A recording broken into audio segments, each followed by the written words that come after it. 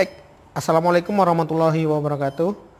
Pada pengujian kali ini, saya akan mencoba memberi noise WiFi Bicopter ini dengan dynamic noise. Artinya kipas angin ini akan bergerak secara uh, ke kanan dan ke kiri. Jadi apabila di percobaan sebelumnya direct langsung ya, maka di percobaan yang uh, kali ini ini akan secara uh, dynamic. Artinya nanti kipas akan diset pada kecepatan maksimum sekitar 10 knots dengan jarak 2,5 meter. Oke, sebelum kita menyalakan WiFi Bicopter ini, saya akan mengecek ulang kondisi dari sensor imunya. Apabila dirasa sudah stabil, maka baru bisa kita lakukan uh, pengaktifan uh, WiFi Bicopternya. Saya nyalakan kalibrasi akselerometer dan magnetometernya. Oke, sepertinya sudah. Kita cek mode penerbangannya. Oke, juga sudah. Saya coba arming stabilize oke saya lepas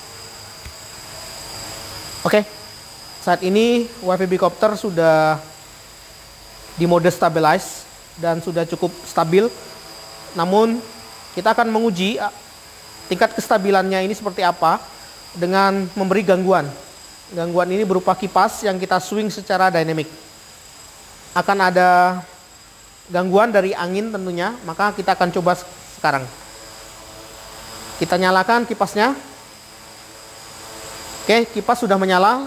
Dia akan swing secara dynamic dan akan memberi gangguan kepada WiFi Bicopter.